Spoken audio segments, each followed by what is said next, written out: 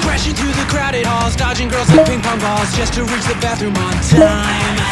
Leaping over laundry piles, diapers you can smell for miles. Guys gotta do what he can to survive.